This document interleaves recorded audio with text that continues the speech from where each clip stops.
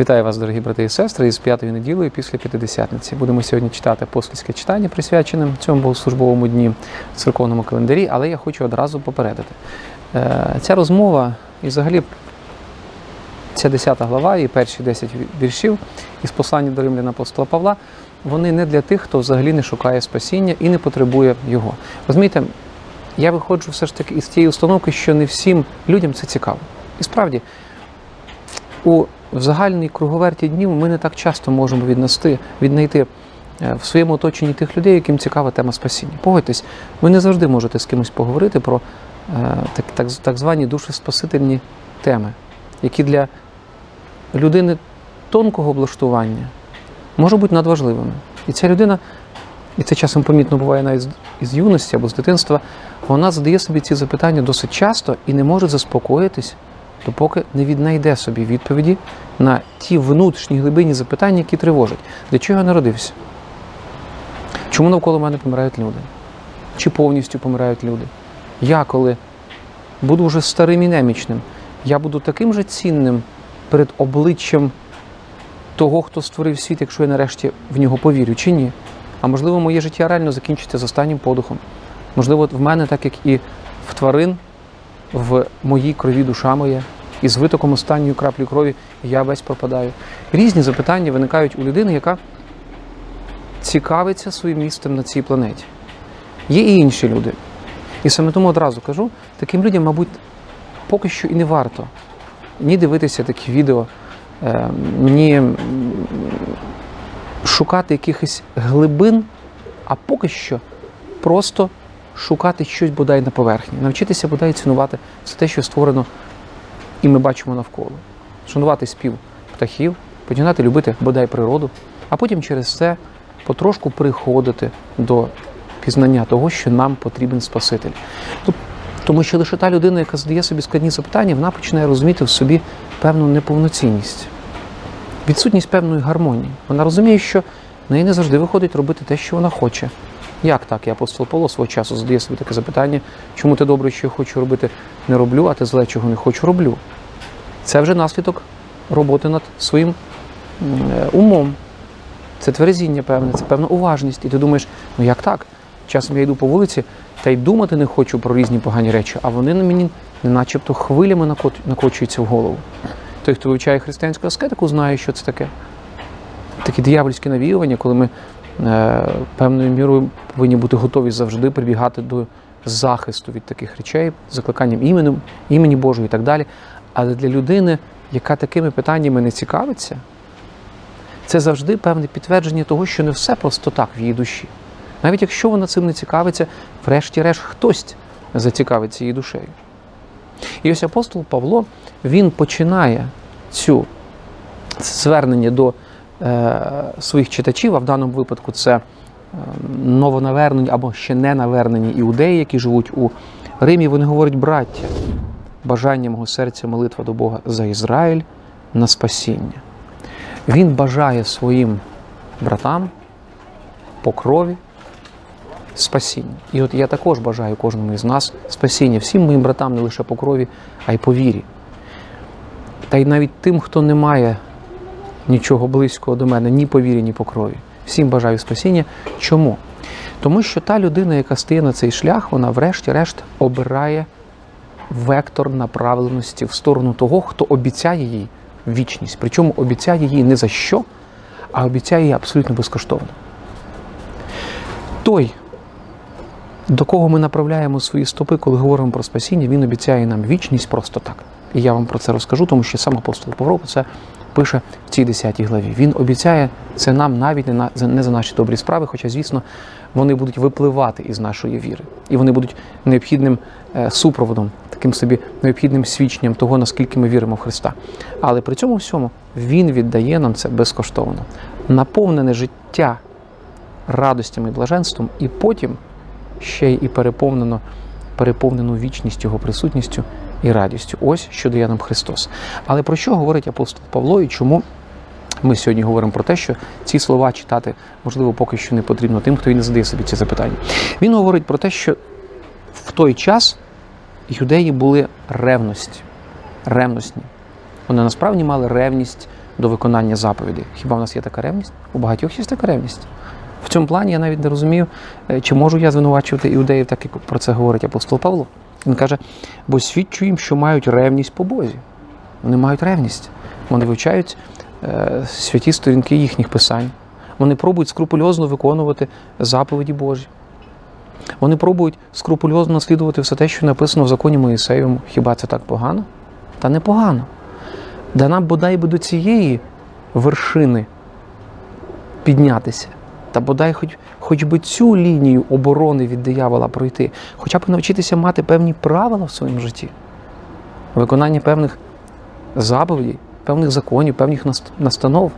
Тому що це і є така собі дитячість у нашій вірі, коли ми ще не готові спасатися просто вірою і упованням, те, що має бути в нашому серці, в наших устах. А як малі діти поки що обмежені батьківськими правилами. Ми навіть до цього часом не доходимо. Тому що елементарні, простенькі правила, які повинні стати такими нашими милицями до Христа, коли потім ми їх відкинемо. І, можливо, будемо жити вже в чистоті власного серця і в спогляданні живої присутності Христа в нашому житті, ми навіть цього не можемо, зробити, і саме тому не доходимо і до живості, і до вічності тієї віри, яка реально спасає. Елементарні правила це те, про що я постійно кажу майже в кожному відео. Спроба організувати власне життя. Це не лише прибирання в домі, це не лише певний графік життєвий, це в основному молитовна історія. Історія е, дисципліни нашого ума. Історія того, як ми такі розхристані і розладнані, пробуємо молитвою ранковою, вечірньою, перед їжею, просто протягом дня, в паузах, коли ми ні з ким не говоримо, в моментах, коли ми робимо щось руками і маємо вільний час, коли ми займаємо наш розум розмовою з тим, хто є найважливішим, і хто якраз і дає нам можливість просуватися в сторону віри. Так от іудеї, вони жили цим. Вони пробували виконати всі ці 365 заборонних і 200 з лишнім позитивних заповідей закону Моїсеєву. Так у них це не виходило, і апостол про це пише. Ця ревність була не за розумом, бо не розуміючи праведності Божої і намагаючись поставити власну праведність, вони не скорились праведності Божої, бо кінець закону Христос до праведності кожного віруючого. Що це означає? Що юдеї поклалися лише на закон. І лише у ньому аж до самої смерті вбачали власне спасіння. Слухайте, але ж завдання наше, коли ми приходимо до лікаря, не залишитись в лікарні назавжди. Коли ми приходимо до лікаря і він нам виписує певний перелік ліків для для нашого одужання, то найголовніша задача, щоб ці ліки були тимчасовими в нашому житті, щоб вони попрацювали з нашим організмом 10-20 днів. Можливо, для когось це буде півроку, можливо, рік. Але найголовніше, щоб все, що з нами робив лікар, хай це буде оперативне втручання, хай це буде якісь маніпуляції руками, хай це буде будь-яка терапія, вона повинна закінчитись. І далі людина одужати повинна і жити повноцінним життям. Так і закон. Він був путівником, він був тим слугою, рабом е, Пестоном, як ми читаємо в слов'янському перекладі, який приводив мале дитя свого господаря, такого собі ще е, нерозумного і досить швидкого юнака до школи і відводив його назад. Це тимчасове явище в нашому житті. Закон, дисципліна, жорсткі правила це все те, що повинно дати нам можливість вирости. Але коли людина виростає, вона змінюється, і вона тоді вже виходить із дому свого. Вона відходить від дому батьківського і материнського і будує свою історію, і вже не потрібні ці милиці батьківської опіки і материнського піклування. Ось чому був сенс закону, який вів до Христа, тому що ми читаємо бо кінець закону Христос, якщо брати грецький варіант, там слово телос, тобто ціль, все-таки не кінець, а ціль закону Христос. Ціллю старого заповіту було виховати іудейський народ до прийняття Христа, і щоб ці люди подорослішали нарешті, прийняли його і стали рухатися далі, вже керуючись не своєю праведністю вдаваною, яку ніяк не можна контролювати щодня, і ти кожного разу, ви це знаєте самі, впадаєш в порушення закону впадаєш у звершення гріха. Який би ти не був праведний, що би ти не робив, ми це знаємо із житті святих, навіть наших. У кожного із них були моменти падіння і вставання. Ніхто із нас своїми ділами, власною праведністю врятуватись не може. Ми надіємося лише на те, що праведність Господа нашого виправдає нас, але до цього нас підводять милиці закону, які навіть і зараз існують певною мірою. Тобто певні правила нашого існування, вони дисциплінують розум, вони обмежують наше тіло, вони не дають нашим рукам е, торкатися зайвого, а нашим очам бігати по зайвим предметам. Ось що таке правило, що таке закони, які повинні, врешті-решт, відійти і залишити нас наодинці зі Христом. Чому так? Мойсей пише про праведність від закону. Людина, яка виконала його, жива буде ним. А праведність від віри так говорить: не кажи в серці твоєму, хто зійде на небо, тобто Христа звести, або хто зійде в безодню, тобто Христа з мертвих підняти. Це цитування Моїсея з книги Второзаконня, не таке дослівне, але е, апостол Павло вкладає в нього новий зміст. Моїсей у Второзаконні говорить е, правовірним юдеям про те, що ви не можете шукати, говорити мені, що десь закону перед вам, перед вашими очима немає, що десь його потрібно шукати за морем, або безодні, або підніматись на небо. Ні, ось він у тебе перед очима. Апостол же Павло говорить тут про мову віри. Він каже, що тобі не треба сумніватися у втіленні Христа. І не треба його знову зводити на небо, тому що він же тут втілився. Не треба Бога ж зводити із небес на землю. Він уже був тут, він втілився, і тобі це треба прийняти на віру. І навіть не те, що прийняти, а ми читаємо, не кажи в серці своєму, навіть не мати мінімального сумніву в тому, що він втілився. Ось перший такий важливий догмат християнства віра в те, що Бог втілився, і саме тому ти навіть не маєш права сумніватися в цьому. Ось чому перша вимога до дорослої людини в вірі Христовій. Повір. Мова йде не про, не, не про твої діла праведності вже, і не про твої діла закону, і не про виконання тобою тисяч скрупульозних заповідей.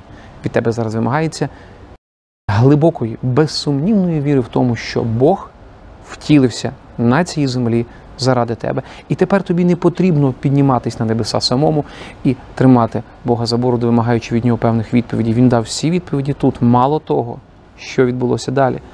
Або хто зійде в безодню, тобто Христа з мертвих підняти. І не треба спускатися в безодню, щоб Христа воскрешати. Не треба. Він вже воскрес. І це другий догмат, який нам треба повірити. Апостол Павло на цьому дуже чітко зосереджується, що цей другий догмат дуже важливий для нашого спасіння. Навіть не кажи в серці своєму жодного сумніву. Це означає, що жодного поруху сердечно не має виникати в твоєму серці, коли ти говориш про такий догмат. Так, Бог втілився, і Бог воскрес, і ти маєш прийняти це на віру. Але що говорить Писання? Близько до тебе слово в устах твоїх і в серці твоїм, тобто слово віри, яке проповідуємо. Це знову ж таки часткова відповідь Моїсея, тим, хто сумнівалися е, в тому, що справи, що заповіді так легко е, і закон так легко зрозумілий, і е, його видно на поверхні. А Моїсей говорив їм ні, все це знаходиться в устах твоїх і в серці твоєму. І так само ті зерна віри, які і є спасительними для кожного християнина, вони є і в серці нашому, і на устах наших. Бо якщо устами твоїми будеш сповідувати Ісуса Господом і серцем твоїм вірувати, що Бог воскресив Його з мертвих, то спасешся. Бо серцем вірують до праведності, а устами сповідують до спасіння. Отже, сповідувати устами Ісуса Господом, а серцем вірувати, що Бог воскресив Його з мертвих. Ось ці декілька догматів: догмат втілення, догмат Воскресіння, те, що ми маємо носити в своєму серці, але не лише носити в своєму серці, а й устами сповідувати. Бо, хоча віра в серці і дає тобі внутрішнє переживання твоєї віри, втім, ти ще не стаєш тим, хто світить, як яскраве сонце, як яскраве свічка для всіх, щоб і вони заряджалися твоїм переживанням віри. Дуже важливо відчувати себе місіонером во Христі. Дуже важливо виконувати виконувати оці слова апостола Павла, який говорить, що ми маємо устами сповідувати Ісуса Господом, тому що серцем вірують до праведності внутрішньої, це 10-й вірш, а устами сповідують до спасіння. Я би додав би ще, що це не лише питання місії, питання проповіді, питання живого вияву нашої віри, яка повинна бути очевидна для інших. А це в тому числі і історія наших справ. Тому що уста це те, що рухається, це те, що проявляє певну динаміку. Серце це те, що залишається потаємним і утаємниченим для всіх. Це наша віра. І ось на противагу всім тим протестантським проповідникам, які говорять, що саме справи ніяким чином нам не потрібні, я ж все-таки хотів би наголосити на тому, що апостол говорить про уста. Тобто уста це і є частина нашої плоті, частина того видимого, динамічного існування в цьому світі, яке виявляє, чи ти з Богом чи ні. Так само, як руки, так само, як ноги, так само, як всі члени нашого тіла, вони повинні бути елементами проповіді Христа. Ця людина, яка, врешті-решт, носить всередині себе віру в Христа Спасителя, вона починає жити так, не начебто вже живе не вона, а живе в ній Христос. У Семена Нового Богослова є чудові слова про те, що детальне, строге виконання заповідей навчає людину її немочам. І тими ж немочами пізніше ми можемо прочитати в апостола Павла. Сам апостол вихваляється немічністю во Христі. Що це означає? Ми маємо пройти певні етапи зросту в нашій вірі. І це безумовно необхідно для нас. Етап, коли над нами має бути духівник, старший, провідник у вірі. Це може бути навіть дитячий закон Божий або катехизис. Це може бути перший священник. Кожен приходить по-різному. Це може бути вчення святих отців, яке ти відкрив колись і був вражений їх величчю. І ось спочатку ти повинен йти до Господа оцими протоптаними кимось законними шляхами. Шляхами, які ти підказують, що сюди не йди, тут можеш впасти. І направо не відходь, і наліво, тому що тут безодня, тут прірва, тут колючки, а тут вогняна гієна. Обережно йди. Тими шляхами проходили перед тобою тисячі і тисячі людей, і вони вже знають, куди можна йти і куди не можна. Так, це певне обмеження, ми їх не любимо, але воно необхідне нам. Це є заповіді, не вбий, не вкради. Це прості заповіді, які не відмінялися Христом. Вони просто наповнилися новим сенсом і дали ожити в новому світлі. Без них нам буде тяжко. Комусь дуже тяжко виконувати заповіді церкви про пости або про звершення молитовних правил, або про що тижневе відвідування богослужінь в загальних зібраннях.